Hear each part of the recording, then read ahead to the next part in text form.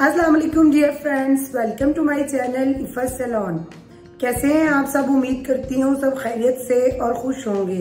The purpose of my channel is to live beautifully and healthy with Iffat so my dear friends आज की video में मैं आपको scrub करने का तरीकाकार बताऊँगी कि सेल्फ स्क्रब आप कैसे कर सकते हैं, कितने मिनट आपको स्क्रब करना चाहिए और कितनी दफ़ा आपको स्क्रब करना चाहिए। तो आपने इस वीडियो को एंड तक देखना है।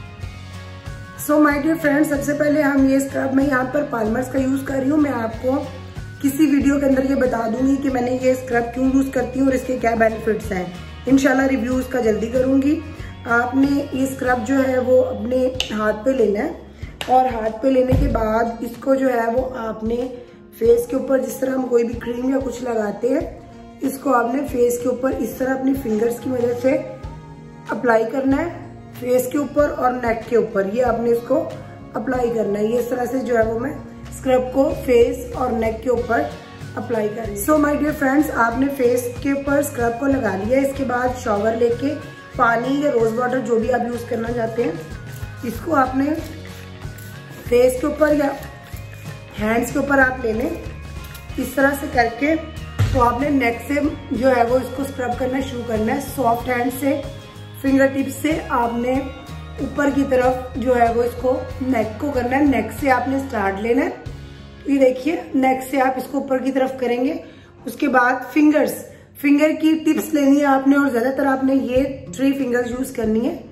इस तरीके से आपने इसको जो है वो करना है। उसके बाद आप अपर लिप्स पे आएँगे और अपर लिप्स पे बहुत सॉफ्ट हैंड से आपने स्क्रब करना है। इसके लिए हार्ड या प्रेशर की ज़रूरत नहीं होती। स्क्रब जो है वो आपकी स्किन के ऊपर से डेड सेल्स को रिमूव करेगा, आपकी स्किन को ग्लो देगा और आपको स्क्रब जो है वो तकरीबन वीक में एक बार यूज़ करना चाहिए। It depends on your skin अगर आपकी स्किन बहुत सेंसिटिव है तो 15 डेज़ में एक दफ़ा यूज़ कर लीजिए। और अगर आपकी स्किन ज़्यादा सेंसिटिव नहीं है नॉर्मल है तो आप हर वीक भी इसको यूज़ कर सकते हैं। तो स्क्रब जो है वो बहुत ज़्यादा ज़रूरी है। फुल बॉडी पर ही स्क्रब बहुत ज़रूरी है। लेकिन फेस के ऊपर तो बहुत ही ज़्यादा इंपॉर्टेंट है।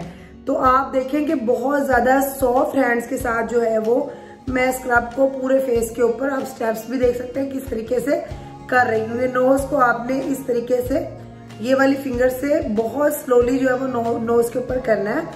और स्क्रब की टाइमिंग आपकी टू टू थ्री मिनट्स होनी चाहिए। इससे ज़्यादा स्क्रब आपने अपने फेस के ऊपर नहीं करना है। दो से तीन मिनट तक आपने करना है और अगर आपकी स्किन बहुत अच्छी और हेल्दी है तो आप फोर टू फाइव मिनट्स भी कर सकते हैं। और बहुत ज़्यादा सेंसिटिव स्किन होने की सूरत में आप इसको जो है वो एक से दो मिनट ही करेंगे, लेकिन स्क्रब के लिए आपको फिंगर्स जो है वो अपनी बहुत ज़्यादा सॉफ्ट रखनी है। प्रेशर आपने कहीं पर भी फेस पे नहीं देना है। मैं उम्मीद करती हूँ कि आप लोगों को इस चीज़ की समझ आ गई होगी। कि स्क्रब जो है वो खुद से किस तरीके से करते हैं और वीक में कितनी दफ़ा इसको करना चाहिए। तो मैंने जितना टाइम स्क्रब करना था, अपनी स्किन के अकॉर्डिंग मैं दो से तीन मिनट तक इसको कर चुकी हूँ। स्क्रब जब आप कर लेंगे तो आपने कॉटन लेनी है। कॉटन के ऊपर ये शॉवर की मदद से आपने लाइट सा शॉवर करना है।